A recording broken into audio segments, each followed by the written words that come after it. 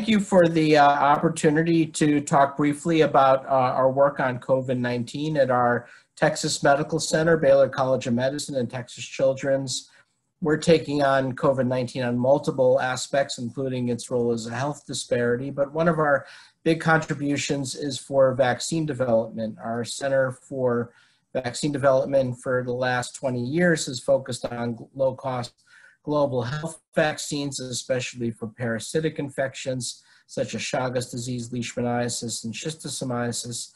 But now uh, we've also had over the last 10 years a coronavirus vaccine program in collaboration with the New York Blood Center, where we have focused on recombinant protein uh, vaccines that include the, encode the receptor binding domain of uh, the spike protein for uh, SARS-1 that emerged in 2003 with uh, MERS coronavirus.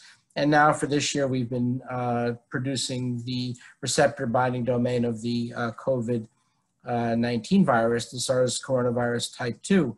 Uh, so we, once we obtained the sequence from Chinese scientists who are putting up the sequences in bioRxiv in January, we moved pretty quickly to uh, produce the uh, SARS-2 coronavirus receptor binding domain uh, in uh, Pichia pastoris, uh, a methanol utilizing yeast. And we picked that for two reasons. One, our experience with SARS and MERS found that when we use this yeast receptor binding domain, we can induce high levels of virus neutralizing antibody and without the uh, eosinophilic immune enhancement uh, that was seen with full-length spike proteins or vectored virus vaccines in our laboratory animal constructs. So the receptor binding domain approach was uh, focused primarily because it appeared to remove uh, any type of uh, immune enhancing uh, epitopes uh, and that was proved to be very successful for our COVID-19 uh, approach.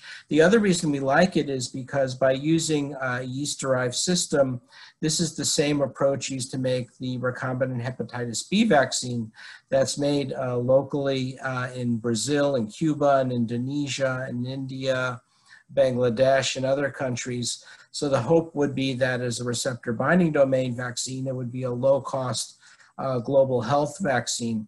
So we prepared it. Uh, we showed uh, that it induced virus neutralizing antibodies in a mouse system and then a non-human primate system. And now we've uh, licensed this technology to Biological E, BioE in, uh, in Hyderabad, India, one of India's big vaccine producers. And now they're scaling up to produce 1 billion doses uh, of the vaccine. So this is quite exciting for us because we think it'll provide a low cost uh, alternative uh, for some of the other uh, COVID-19 vaccines that seems to be inducing very high levels of virus neutralizing antibody and T cell responses, potentially is an uh, alum formulation in combination with uh, other immunostimulants, uh, including potentially CPGs to give a, a, balanced immune response. And so far this has uh, gone really well. And we're worried. We're worried about uh, access of COVID-19 vaccines to low and middle income countries in Latin America and Africa and South Asia. And uh, we think having a low cost recombinant protein vaccine that uses the same technology as hepatitis B vaccine that can be made for a dollar or less per dose uh, offers a lot of promise to solve uh, this huge issue around global access for COVID-19 uh, vaccines. So thank you for the opportunity to talk and congratulations on your conference. And I look forward to speaking with you more.